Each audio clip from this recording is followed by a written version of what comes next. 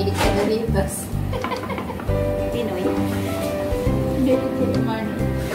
Tapos, may umani ka na pera. Ano tapos mahilig kumain ng kabab. Kibab. Kibab ang nakalagay.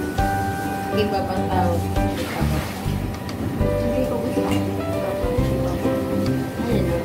Kibab pala tawag, hindi kabab.